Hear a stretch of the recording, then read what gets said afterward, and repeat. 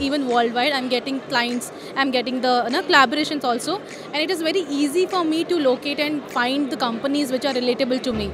So I think this is a very win-win, uh, you know, uh, situation for business people and also for the people who are just traders who want to trade from one part of the country or a city to another part.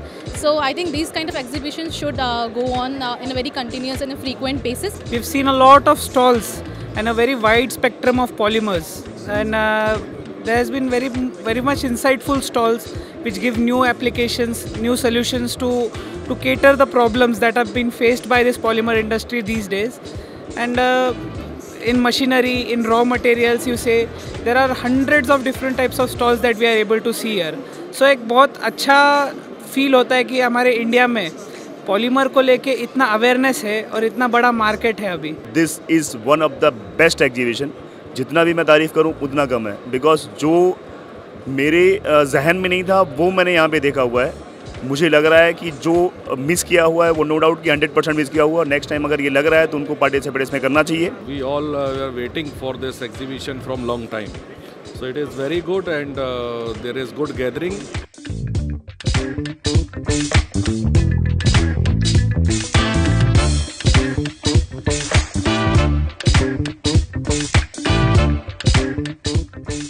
I've been coming here from the past three years, but this this time it's been huge. It's been large, and I can see all types of companies.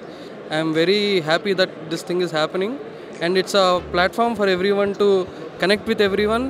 Blast India coming in, with people coming to know about Blast India, they'll they'll probably establish their own factories out there in small villages or probably small towns where there are no industries. So this kind of an expo is brilliant for people who are coming from small towns. My experience has been really good and uh, it feels nice to be here.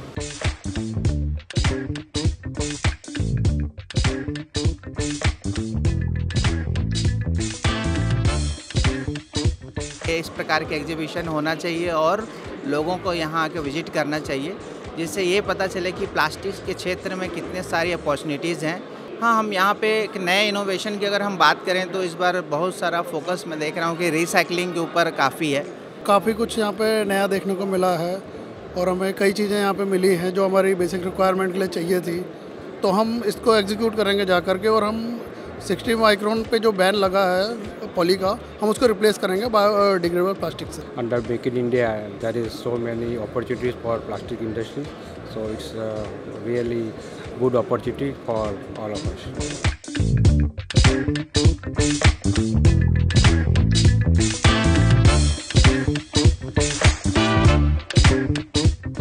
platform is uh, not only for uh, getting good business but uh, to know this particular industry. Now it is very good organization over here and we are enjoying the all the different types of companies and uh, distributor and exhibitors also. चांगला आहे best आहे public पण आहे आणि basically सगळे फॉरेनचे बऱ्यापैकी आहेत कारण मागच्या वेळी फॉरेनर्स आले नव्हते स्टॉल्स किंवा काय यावेळी चांगले दिसायला लागले पाँच साल के बाद ये फेयर हुआ है नई नई कंपनी अपनी मशीन लेकर आ रही है, देखने को मिल रहा है, नई प्रोडक्ट लॉन्च हो रही है। बहुत अच्छा डेवलप किया और अच्छा प्लान किया और वेरी गुड इसमें।